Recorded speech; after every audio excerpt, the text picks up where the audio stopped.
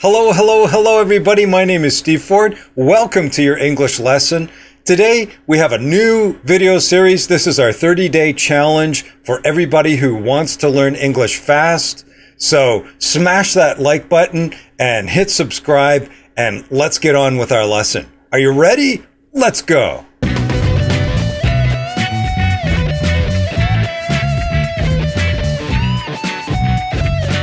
So many of my students ask me, what is the difference between it doesn't matter and I don't care?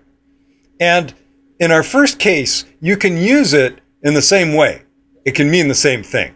So you could say, for example, do you prefer red wine or do you prefer white wine? And you answer, it doesn't matter.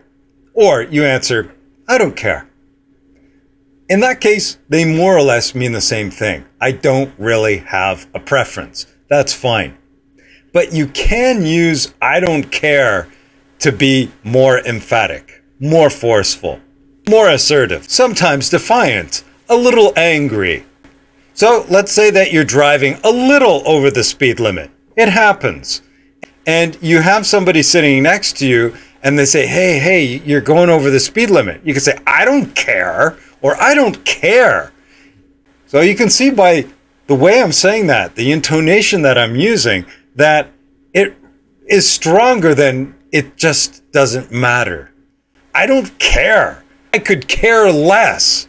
I don't give a rat's ass. The next one is to care about something or someone and care for someone or something.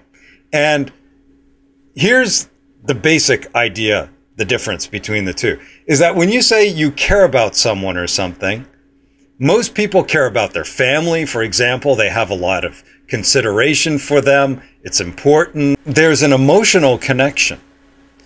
You could say he cares about his kids. She cares about her marks. A lot of people care about their physical appearance. It's important to them. It matters. But you will hear some people use care for that way, but it's not that common a more textbook style of using care for, and maybe you don't know this one, a lot of people don't, is it's a more formal, a more classy way of saying when you don't like something. So let's say, for example, that you're traveling and you go to visit a friend of a friend, you go to their house and they say, Oh, I made this food just for you.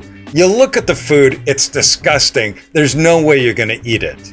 So instead of saying, oh, I don't like it, that's a little too direct. You could say, oh, I'm sorry, I don't care for that kind of food. That way you're not going to offend anybody and it sounds really nice. It sounds very classy. Then we have take care of and be careful of. These are different. So when you take care of someone, notice that we use of on the end. You take care of someone, it means that you give them special attention. So you could say, well, you know, my mother in law is really old, so I'm taking care of her while the rest of the family is traveling or something like that.